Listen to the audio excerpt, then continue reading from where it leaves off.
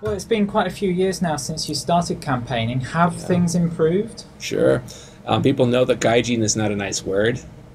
People are not really using it. You're not getting kids pointing at you and going gaijin, and if you do that, you just say, "Would you please stop that?" And generally, the, the adults will intervene and say, "Don't do that." You're able to say in schools, for example, that gaijin should become an unword. It happened in my school, and it's in the middle of the Hokkaido countryside with my students. Um, you're getting people that are accepting people like me as citizens. I mean, look. Uh, most of the people that say I'm not really Japanese are the non-Japanese they don't believe that Japan could ever be open minded enough to accept a person like me. Whereas the politicians themselves keep on saying, well, if you want more rights in the society, naturalize. And um, no politician, and I've talked to quite a few, has actually come out and said, well, you shouldn't have naturalized because you're not really one of us, sort of thing. The number of people that have actually said to me that you're not really Japanese after I told them I'm naturalized, I think at this point, at this day and time, I think it's eight or nine. You know, there was wow. one a year. Wow. I naturalized in 2000. Yeah. That's a pretty good ratio, yeah. right? I might, some people will say, well, maybe they're just thinking it, but they're not saying it. Yeah. But Japan's remarkably frank when talking about your marital status and weight, for example. Oh, futotane. It's like, you know, things just like that, you know, especially when you're in a beer conversation. But, um, these sorts of things are showing that um, Japan is getting better. Now, right now, to be honest with you, I'm in a bit of a funk because uh, as of April 1st, when they offered the Nikkei repatriation bribe, you know, 30 man mm. plus 20 man per dependent if you just bugger off and get out of our society. Um, and they're not offering it to, like, for example, the Chinese trainees, you know, because they don't have the right blood. I, I'm doing a lot of research on migration in Japan, and I'm finding it to be a dismal science at the moment. I'm writing my regular Japan Times columns, but I'm not able to do my regular academic work as productively right now because, you know, right now, for the next few years, I think the population of, of, of non Japanese might in fact go down. Registered, that is.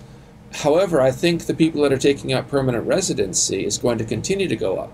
You know, between 2002 and 2007, on the um, 2006, excuse me, the um, rate the, the rate of increase for all um, people that got you know eijuken, you know regular permanent residency, went up by 15% a year on average.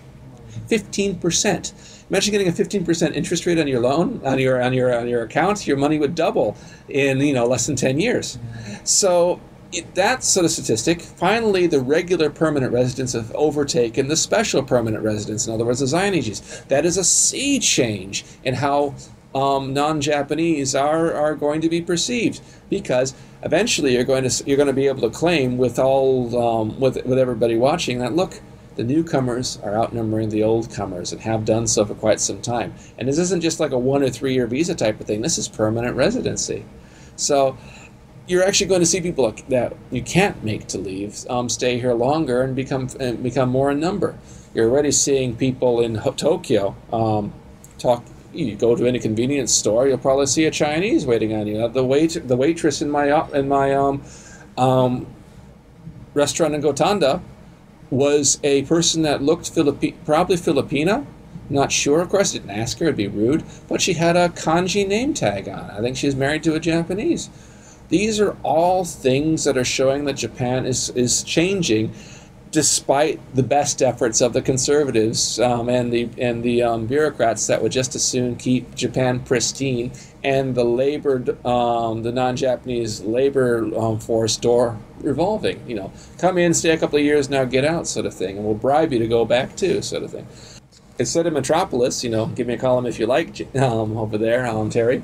But um, it says in there that the Japanese government has actually um, said that for people that take the Nikkei repatriation bribe, they used to say you couldn't come back for 10 years and you wouldn't be able to come back in the same status. They've now shortened it down to three years and um, they can come back. And that doesn't make it clear about the visa status, but in any case, that's a compromise because of all the pressure that's been happening. Mm-hmm. We are finally have the Japanese government saying there are ethnic minorities, well, one anyway, the Ainu, in Japan. We're finally having um, people saying that you know even the um, non-Japanese residents should get the you know ichiman nisen mm-hmm. um, um, um, kyufukin thing that would only be given to citizens once upon a time those are all acknowledgments that um, non-Japanese are over here to stay, or at least over here um, deserving of equal benefits as taxpayers.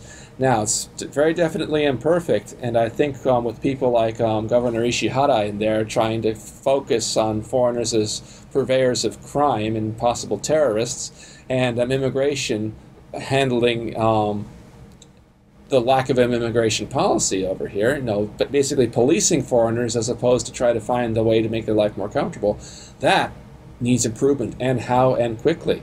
Um, but for the time being, um, we're in a phase where people are saying, well, we really would rather foreigners didn't um, pump up our unemployment statistics, so could you please leave? You know, when economic opportunism comes around again and Japan wants cheap um, labor for their factories, then we're going to see um, people saying, okay, all is forgiven, come back. Wait and see. But um, can't help it. Japan's demography is saying that, you know, Japan will go extinct by the year 3000, I just saw yesterday. So um, you can't help but say that foreigners, no matter what, are going to be a part of Japan's future. You cannot. This is not. Um, this is not a hermetically sealed society, and um, people are going to want to come here to live, and the government will want to continue to encourage people here to live.